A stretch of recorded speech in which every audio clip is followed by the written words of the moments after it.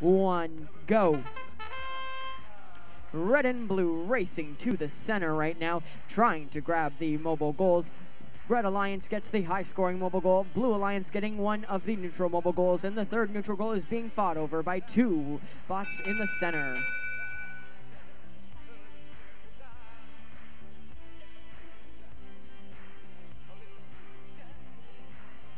Autonomous is a tie. It's driver control now in three, two, one, go.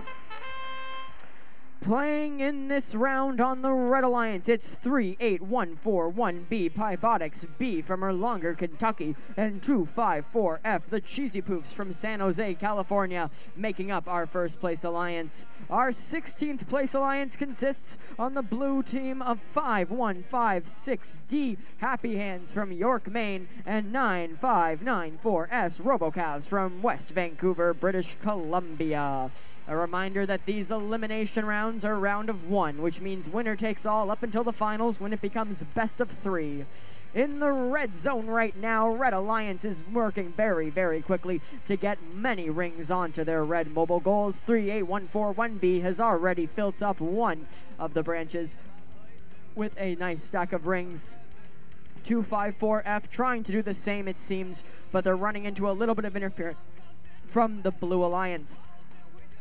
Blue Alliance bot 9454S has gotten uh, two mobile goals filled with rings as well. They're two blue mobile goals filled up with rings, and it looks like that could possibly give them an advantage and allow them to catch up. With Autonomous being a tie, this game could go either way. 254F trying now to get themselves elevated on the platform with the high scoring mobile goal. They're tipping back and forth.